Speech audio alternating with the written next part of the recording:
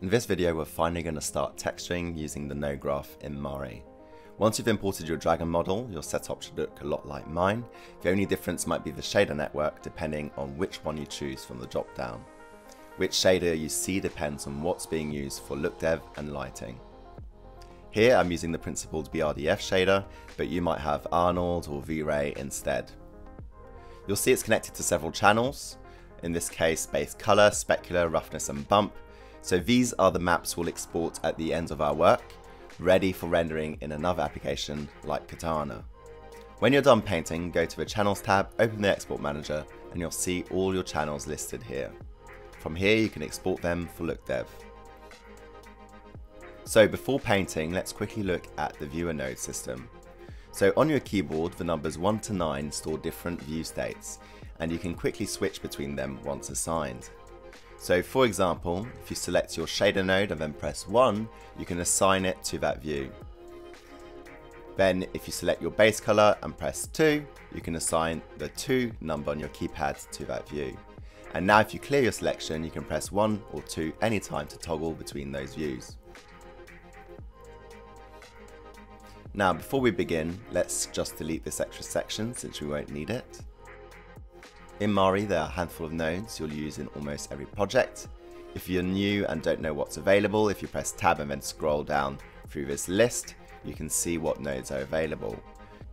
Or if you want something more organized and easier to understand, if you right click go to nodes, you can browse them by type. So the first essential node is merge, shortcut is M.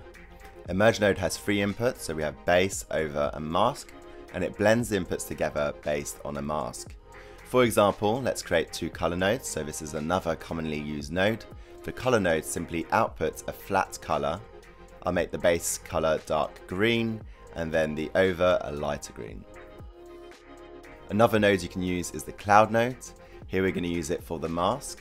So if we connect it to the merge's mask input, double click it, then we can tweak the pattern. So adjusting roughness makes it smoother or grittier. Um, everything in white shows the overcolor, everything in black shows the base. And if you only need two colors blended by noise, you can skip the merge entirely. So the cloud node has a built-in color A and color B slots, uh, but using a merge gives you more control in the long run as you can blend modes, uh, change the opacity, and you also have advanced options. And also if you want to add nodes later on to the color or to the mask, you can do this separately, whereas with the cloud node, it would be a lot more difficult.